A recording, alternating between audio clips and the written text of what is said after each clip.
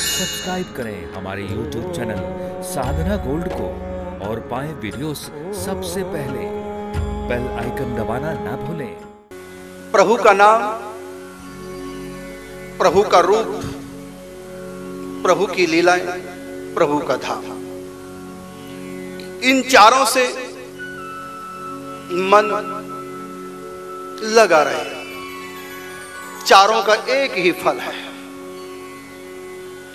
यह तो साधक प्रभु के नाम में ऐसा लग जाए कि भजन कर तो ऐसा कर, भजन करने की हद कर दे, भजन के बल से यमराज का खाता भी रद्द कर दे। ऐसा भजन हो, केवल नाम से ही अंतकण में रूप प्रकट हो जाता है। और कोई भी साधना करने की आवश्यकता नहीं केवल नाम जप बस।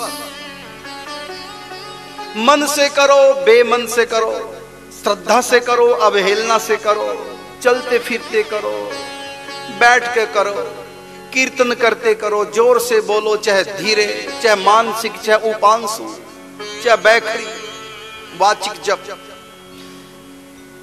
गुप्त रूप से करो, चाहे प्रकट रूप से करो, माला से करो, चाहे करमाला से करो, चाहे काउंटर से करो, चाहे नाच नाच के करो, हारमोनियम से करो समूह में करो, चाहे एकांत में बैठ के करो, काम करते करो, चाहे काम को छोड़कर एकांत ध्यान पूर्वक करो, कैसी भी नाम से हमारी वाणी जुड़ी रहे बस।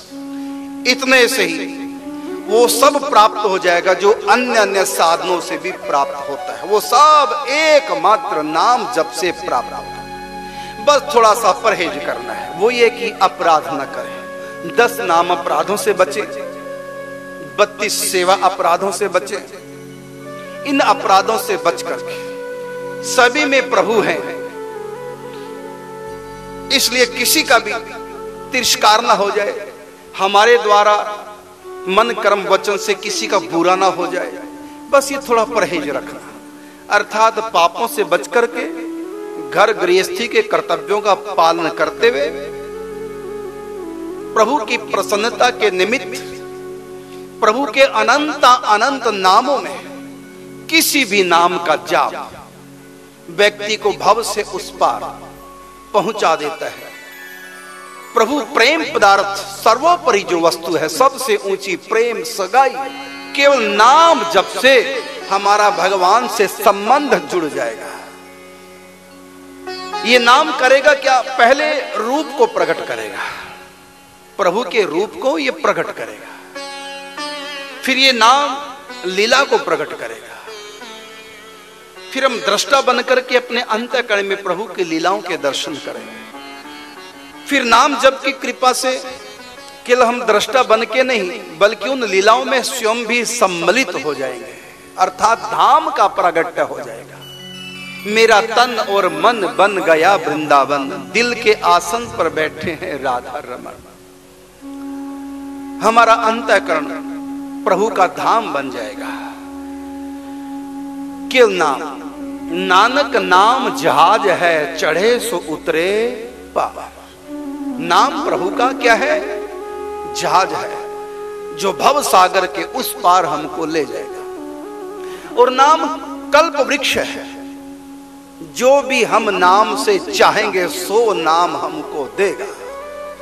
धर्म चाहिए, अर्थ चाहिए, काम चाहिए मोक्ष चाहिए और इन सबसे आगे पंचम पुरुषार्थ भगवत प्रेम चाहिए। जो भी चाहत हृदय में होगी, नाम जाप के ये नाम वही काम करने लग जाएगा। नाम की एनर्जी नाम की पावर वहीं पर प्रवाहित होने लगेगी। कहा, जो चाह हृदय में होगी। इसलिए कहा कि यदि निष्काम भाव हो तो नाम का पूरा लाभ हम ले सकते हैं। क्योंकि कामना संसार की रहेगी तो नाम हमारा संसार की कामनाओं की पूर्ति में उसकी पावर एनर्जी खर्च हो जाएगी।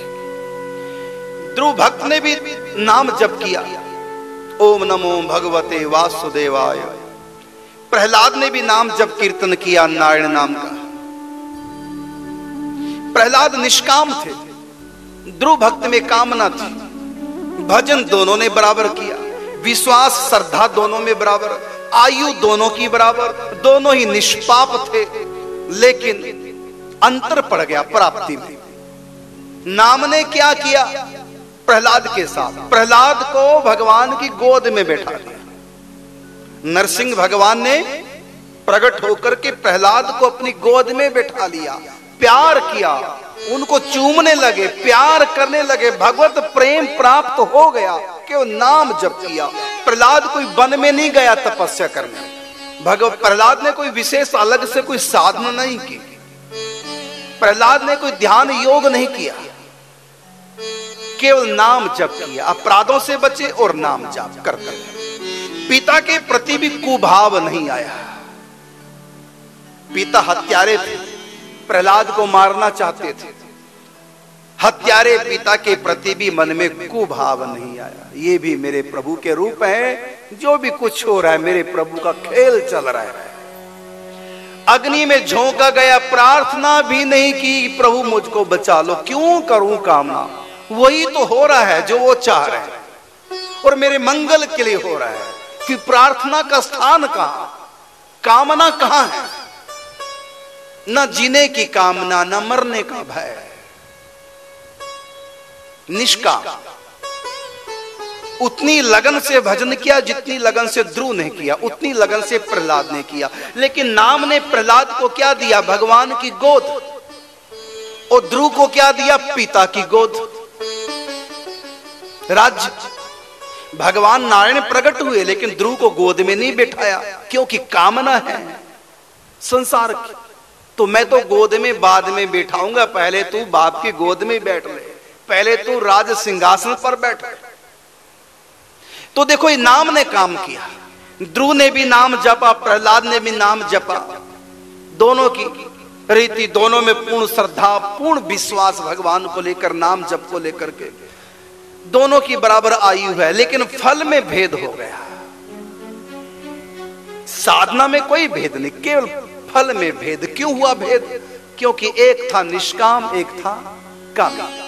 कामना की इसलिए कहा कि भजन में यदि हमारे छह विशेषताएँ आ जाए क्या क्या गुप्त, अकाम, निरंतर, ध्यान सहित आनंद पूर्वक